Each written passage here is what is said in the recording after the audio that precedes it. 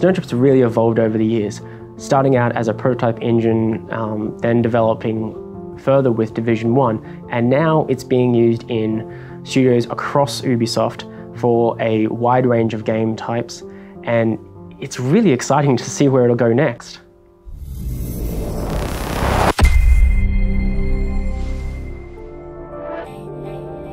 Our mission here at Snowdrop is to develop the most powerful technology we can for our games. We have to make this available to our developers to best capitalize on this and bring those games to the next level.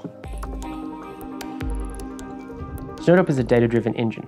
This means that world designers, gameplay designers, and other content creators don't need the constant support of programmers to implement their work they can actually put this directly into the editor and engine and drive the next steps of the game process.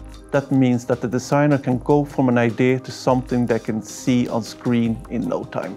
For example, this car is actually a complex system of nodes that exposes values so the designer can easily change the look and feel of the car be able to use the same car, but with these options, make every scene look unique.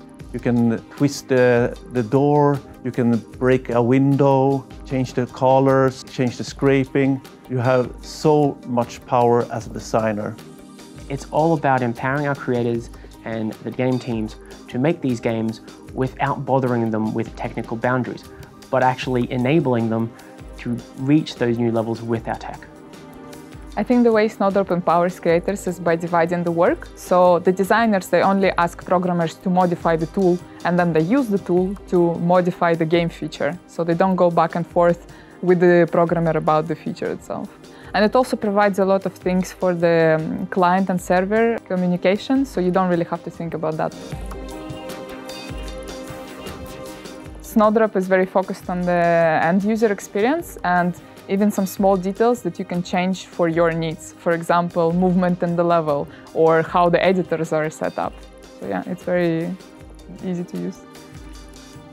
We're able to work with the game developers to figure out what they need next, where the technology is going with the use of the game, and solve the problems they are having now and tomorrow.